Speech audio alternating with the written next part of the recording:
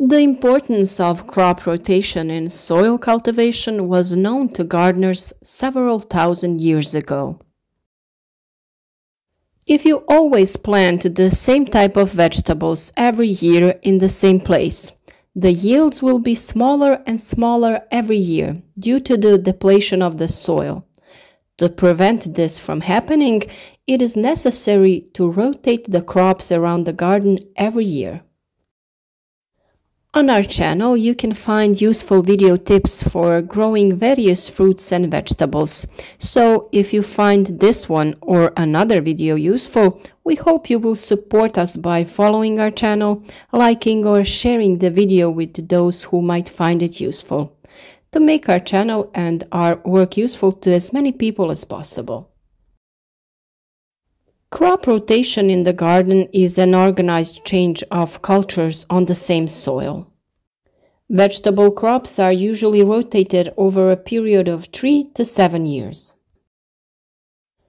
Cultivation of the same crop on the same soil for several years in a row leads to disruption of soil structure and soil fertility. Some plants use more nutrients than other plants, so growing the same crop in the same place depletes the supply of that nutrient. During growth, plants take phytoncide active substances from the ground, which also lead to soil fatigue. The crop decreases over time and the quality of the grown plant decreases also. Plants from the same family should not be replanted in the same place for at least three years because of diseases and pests. This period is generally enough for pests and disease causing agents that remain in the soil to no longer pose a threat to the species. For crop rotation, we need to know the families of plants because if we planted, for example, onions one year, the next year's crop change cannot be garlic or leeks. Both are from the same family and are attracted by the same intruders and pests. But next year we can plant, for example, cabbage or zucchini, which belong to other plant families. In addition, pests, diseases, and weeds get a permanent residence, better conditions for development and spread, and greater opportunities to damage the crop through such cultivation of vegetable crops. In a bed where crops are combined, garden pests will develop more slowly because it will be harder for them to find the plant they feed on. Garden planning and crop rotation in the garden maintain soil fertility and its structure. Pests are controlled, the possibility of plant disease is reduced, erosion is prevented, weediness of the soil is reduced, and biodiversity in the garden is maintained.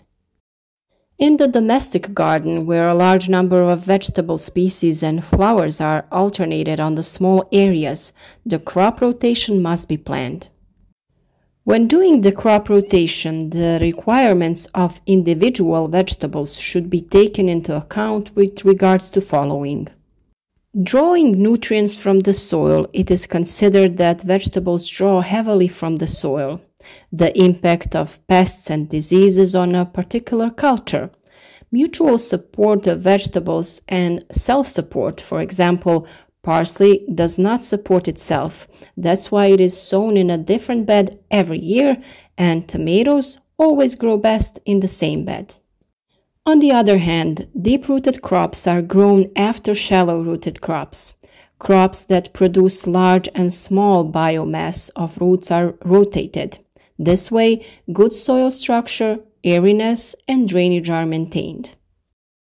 Plants that have shallow roots, roots that spread horizontally and draw nutrients from the surface layer of the soil, are salad, radish, cabbage, cucumber, and melon. The plants that have deep roots, those that consume food from the deeper layers of the soil, are beans, peas, potatoes, tomatoes, carrots, pumpkins, and turnips. Peas, beans, lentils, and broad beans enrich the soil with nitrogen and prepare it for the following crops. Plants with a large biomass of roots which bind nitrogen from the air and leave it in the soil are called builders beans, peas, and legumes.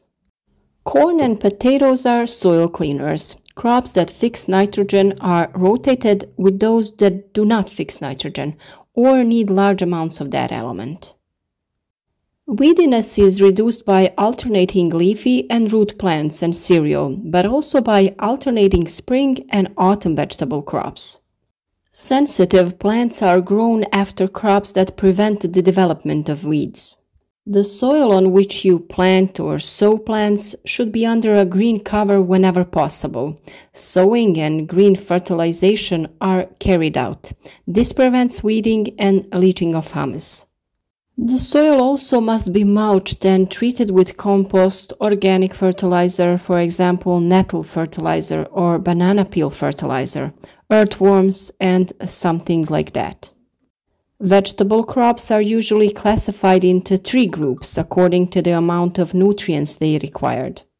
We have demanding plants like kale, tomatoes, leeks, cauliflower, broccoli, cucumbers, potatoes, pumpkins, zucchini, celery, and radish.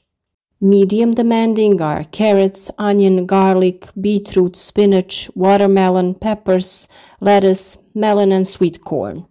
And we have low demanding crops like beans, peas, and most of the herbs. Before planting or sowing demanding vegetables, it is recommended to fertilize the beds with manure or compost. Medium demanding vegetables prefer compost, while low demanding vegetables need very little fertilizer. The practical side of this approach is dividing the vegetable garden into four or five parts. Different types of crops like cabbage and beans are moved from one plot to another so that they can return to the same place of land only every four years. For the four year change of cultures, the culture should be divided into four groups. The fifth bed is used for the perennial plants, which are obviously not moved. You can make a list of vegetables you want to grow next year and divide them into four different groups. Determine the place of planting for each of them. Do the same for the following year, but move all crops to another plot.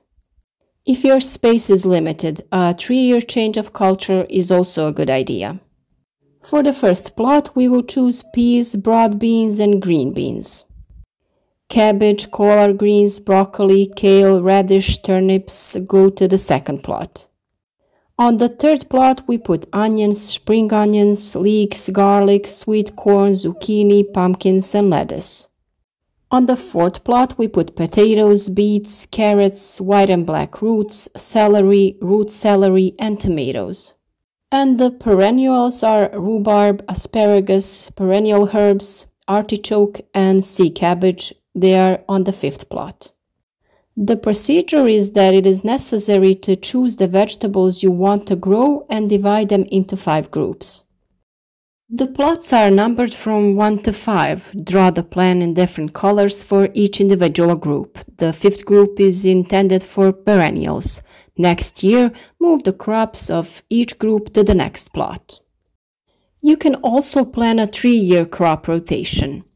Then the garden is divided into three parts and crops are planted according to their requirements, how much nutrients they draw from the soil. For example, you can plant demanding crops after low demanding crops and medium demanding crops after demanding ones.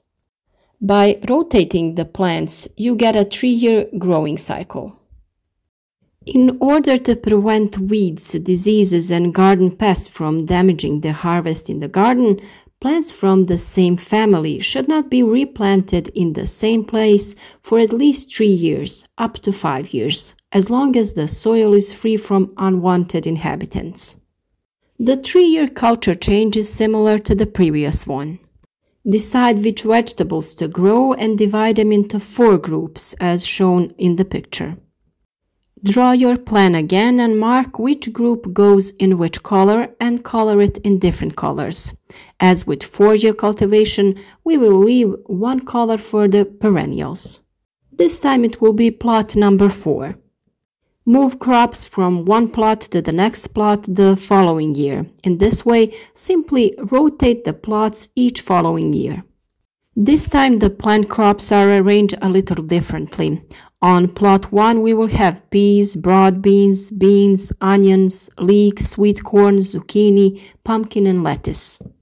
On plot number 2 we will have potatoes, beets, carrots, white and black roots and tomatoes.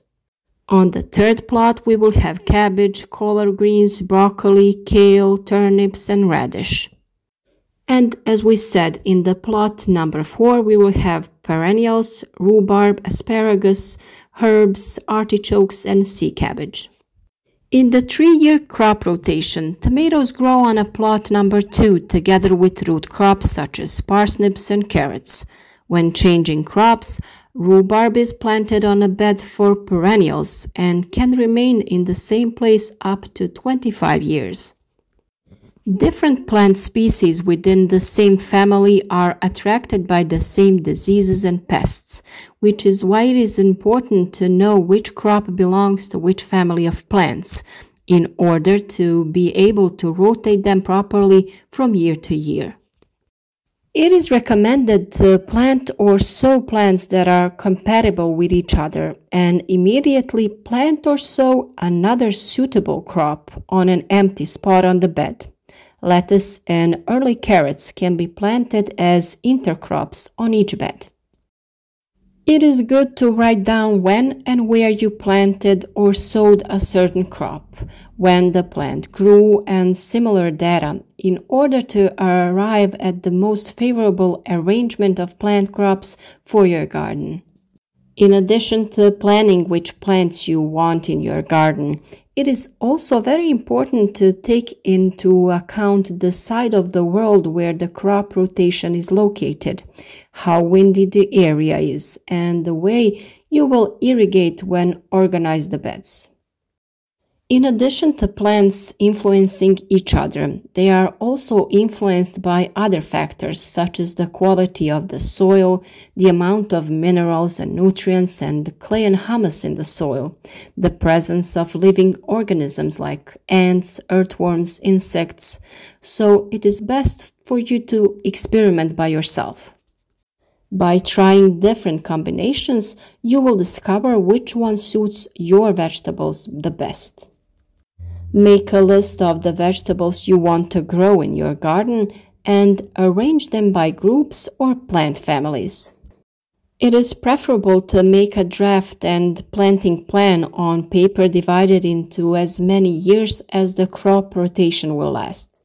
It is also important to keep notes during the crop rotation, weather conditions, climate change. And for any additional questions, write us in the comment section and don't forget to subscribe.